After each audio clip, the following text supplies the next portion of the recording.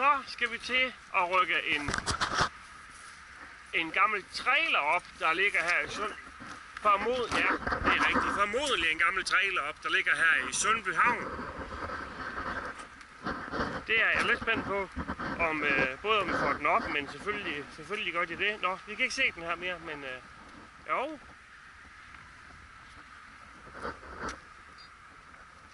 Den er her i hvert fald endnu. Der er så der er lys på. Det er der fandme også. Der, Fedt. Der er sgu da nummerplade på også. Er der? Gutter så! Ej, hvor vildt, mand. Jeg tror, hvis, vi dem, så når julen lige kommer ind mod dig. Fedt. Ja.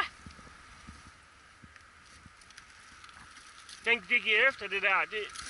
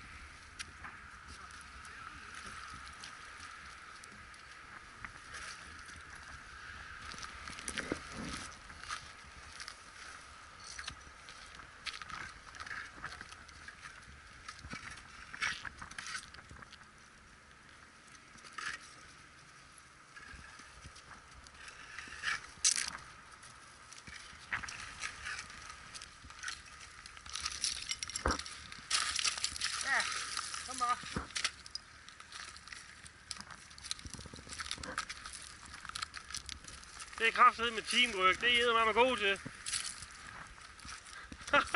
den kommer køre. Det kan den, den ruller endda. Fedt, mand. Ja, bare hold. Ikke nogen mening.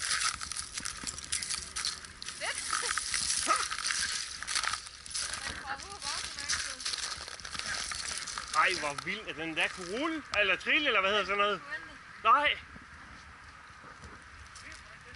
Det skal jo ikke ligge her i armen. Gud, det skal den da ikke. Det, det, nej. Det skal den da ikke. Og det er med sjovt, at der stadigvæk er nummerplade på. Ja, Hvad står der? Hurup Autoværksted. Ja. Ja. Go!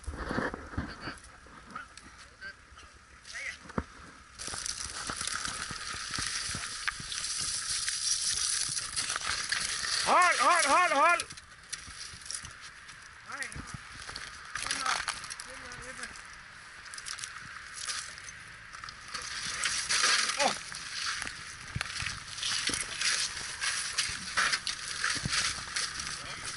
Nå, ja, ja.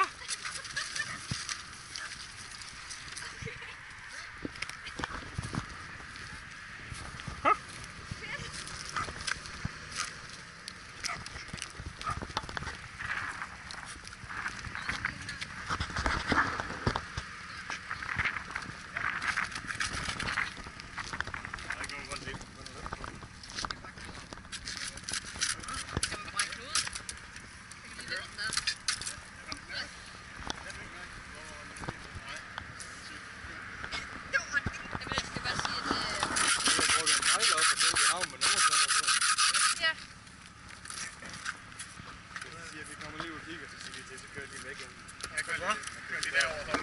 Ja, kør lige,